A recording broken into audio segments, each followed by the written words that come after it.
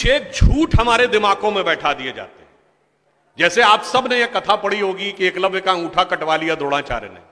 पढ़ा है ना आप सबने पर यह बताइए, कितनों ने महाभारत में स्वयं पढ़ा है?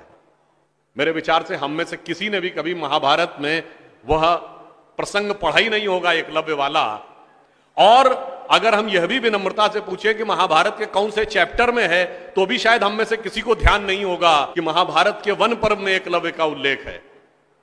मगर देखिए मार्क्स और मैकाले का प्रभाव कि हमारे दिमागों में ऐसा भरा हुआ है कि हम ग्लानी से आबद्ध हैं, बगैर पढ़े हुए।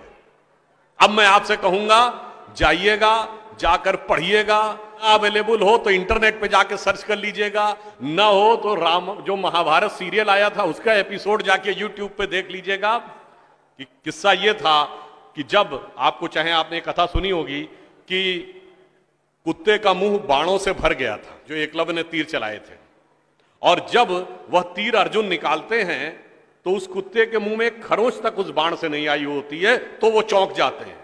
क्योंकि ये सामान्य तीर नहीं है। उन्होंने कहा तो दिव्य अस्त्र है। कि मुँह में पूरा तीर तीर से भर गया मुँह, और इसके बाद भी एक खरोच नहीं आई। आप कहेंगे दिव्यास्त्र का मतलब क्या? दिव्यास्त्र का मतलब यह है, जैसे रशिया यूक्रेन की लड़ाई चल रही है ना, इससे पहले मिडिल ईस्ट की लड़ाई देती थी। तो जो मिसाइल जाती है, वो लेजर गाइडेड जाती है, जिस बिल्डिंग पे गिरना उसी बिल्डिंग पे गिरती है अगल बगल पे नहीं गिरती, क्योंकि the direction is precise to the metres पर अगर मुँह के अंदर जाए और खाल पर खरोच ना आए, इसका मतलब it is so much strongly guided that it is precision to the micrometres तो जब ये ये, वो देखते हैं, ये दिव्यास्त्र चलाना तो उन्होंने कहा दिव्यास्त्र राजा चला सकता है, ये कैसे सीखा इसने? तो जब द्रोणाचार्य उससे पूछते हैं कि तुमने ये किससे सीखा? तो कहता, आपसे सीखा गुरु जी कहते, मैं तो तुम्हें जानता नहीं, बालक तुम अपना परिचय दो। अब यहीं पर बिंदु एकलव्य क्या कहता है, मैं मगध नरेश जरासंध के प्रधान सेनापति हिरण्य धनु का पुत्र एकलव्य अरे वो मगध के chief of the arm forces का बेटा था। यदि आप ये कह रहे हैं कि वनवासी था तो ये भी पूरा वाक्य तो पूरा करो कि वो सेना अध्यक्ष था। मगर देखिए कितनी चालाकी से छुपा लिया आधे तथ्य को और उसके बाद हमारे दिमागों में भर दिया कि ये बहुत गलत किया गया। बताइए, हमारे हिंदू धर्म के दो महाकाव्य, रामायण और महाभारत। दोनों का रचयिता कौन? रामायण का रचयिता महर्षि वाल्मीकि, जो संस्कृत के आदि कवि माने जाते हैं। आज जो वाल्मीकि समुदाय है, वो किसमें आता है? शेड्यूल कास्ट में महाभारत के रचयिता और वेदांत और मीमांसा के रचयिता महर्षि वेदव्यास जिनकी माँ मछुआरन थी वह समुदाय किसमें आता है कुछ राज्यों में दिल्ली में शेड्यूल कास्ट में यूपी में अति पिछड़े में तो मेरे भाई संत रैदास नामदेव कबीर दादू ये सब पूज्य संत हुए फिर भी हमारे दिमागों में ये भरा जाता है और कौन भरता है वो वो लोग भरते हैं जो अपने यहाँ समाज के गरीब वर्गों की खरीद फरोख्त करते थे। और आपको ये भी बात बता दूँ, जब हम कभी अपने यहाँ कहते कहते हैं, फॉरेन ट्रेवलर्स ने दिखाओ क्या लिखा है? तो मैं ये बात आपसे कहता हूँ, इसको भी जाके चेक कर लीजिएगा।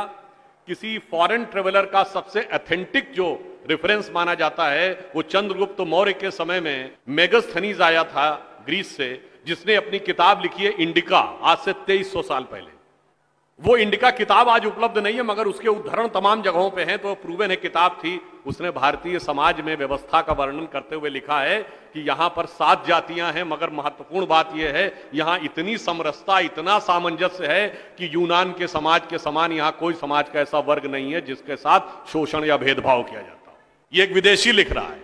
और मैं एक और बात आपसे बताना चाहता हूँ, बहुतों को नहीं पता होगा, गाँव में पंचायत होती ना ये पंचायत में पाँच की संख्या कहाँ से आती है? ये चार या छह क्यों नहीं? पाँच की संख्या जानते कहाँ से आती है? चार वर्ण माने गए थे तो किसी भी गाँव में निर्णय लेना होगा तो चारों वर्णों का एक एक प्रतिनिधि होगा, और पांचवा जानते कौन होगा? गाँव के बाहरी क्षेत्रों में रहने वाले वो वनवासी, जो प्रत्यक्ष रूप से गाँव का हिस्सा नहीं है, पर हमारे निर्णय का प्रभाव उनके जीवन पर भी पड़ेगा तो पांचवा प्रतिनिधि उनका होगा, वहाँ से यह पंचायत का भाव आता और फिर मैं आपसे कहना चाहता हूँ, हमारे दिमाग में एक और चीज़ भर दी गई कि जाति व्यवस्था हमने बनाई। आपको पता है कास्ट शब्द कहाँ से आया? ये कास्ट अंग्रेज़ी का शब्द नहीं है, ये पुर्तगीज भाषा का शब्द है।